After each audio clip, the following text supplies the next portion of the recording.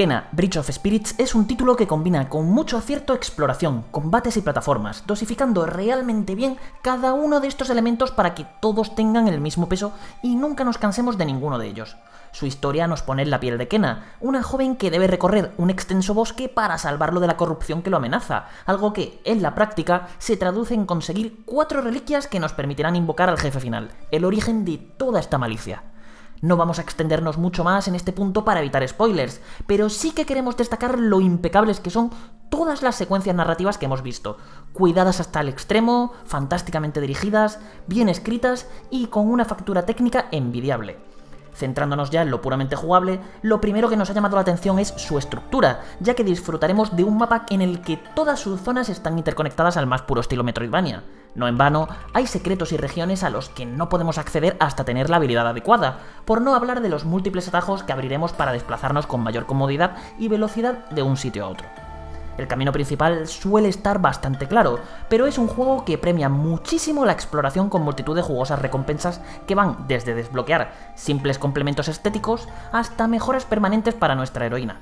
Además, si nos desviamos daremos con enfrentamientos opcionales, minijuegos y nuevos puzzles que de otro modo no veríamos, consiguiendo así que cada palmo del mapa tenga algo interesante y gratificante que ofrecernos. Por supuesto, para que explorar sea divertido también es necesario que la jugabilidad y el diseño de niveles esté a la altura, algo en lo que Kena no parece fallar. Como hemos dicho, el plataformeo es algo que está muy presente en casi todo momento, por lo que nuestra protagonista es capaz de escalar, encaramarse a salientes, realizar saltos dobles e incluso usar un gancho con su arco para impulsarse hasta unas flores y sortear grandes abismos.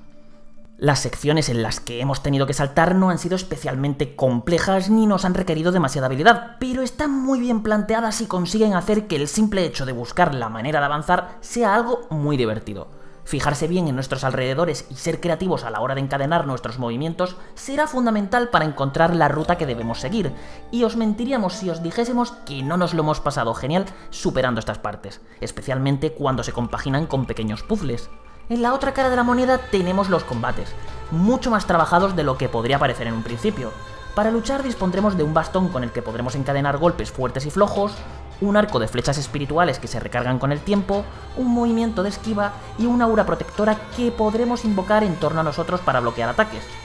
Eso sí, la clave suele residir en los rots, una serie de pequeñas criaturas que nos acompañarán en todo momento y que son fundamentales para resolver los encuentros. Cuando nos topamos con un enemigo, nuestros acompañantes se esconderán atemorizados, motivo por el que necesitaremos infundirles valor demostrándoles que podemos ganar. O lo que es lo mismo, zurrando a nuestros rivales. De esta manera podremos obtener una serie de cargas doradas que nos permitirán darles órdenes de distinto tipo, como que ataquen a un monstruo para mantenerlo aturdido y que podamos aprovechar para impactar en su punto débil, o que purifiquen los lugares en los que se generan nuestros contrincantes, algo que solo podremos hacer en combinación con nuestro escudo, el cual es capaz de emitir un pulso espiritual que resuena con los rots. Esto crea una dinámica muy interesante y divertida durante los enfrentamientos, ya que no estaremos únicamente pendientes de liquidar rivales, sino también de cargar los orbes dorados y gestionar las acciones que queremos hacer con ellos, lo que aporta un toque táctico que le sienta fenomenal. Además, la sensación de impacto está muy conseguida. La cámara se coloca siempre en los ángulos adecuados, las cajas de colisiones se comportan de fábula,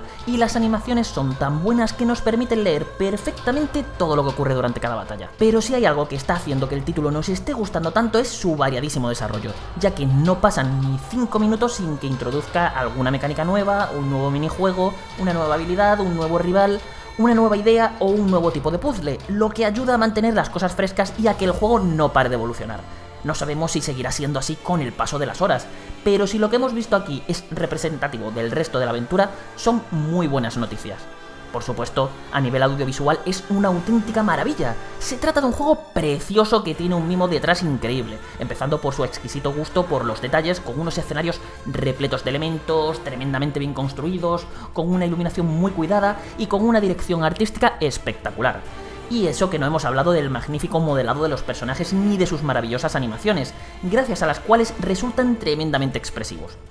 La banda sonora tampoco se queda atrás, gracias a unas bonitas composiciones de corte ambiental que captan a la perfección el espíritu de los escenarios que recorremos. Finalmente, decir que los efectos son de muchísima calidad, y lo poco que hemos podido escuchar del doblaje original inglés nos ha gustado bastante. Kena Bridge of Spirits es una aventura que ahora mismo nos tiene completamente ganados. Cuenta con todo lo que nos gusta de un videojuego, desprende personalidad, sus ideas están fantásticamente ejecutadas y encima es una auténtica preciosidad, por lo que ahora mismo pocas pegas le podemos poner. Tenemos muchísimas ganas de que llegue el 24 de agosto para comprobar si será capaz de mantener el mismo nivel durante todo el juego, pero si hay algo que os podemos asegurar desde ya es que hay motivos de sobra para pensar que apunta a convertirse en una de las experiencias más memorables y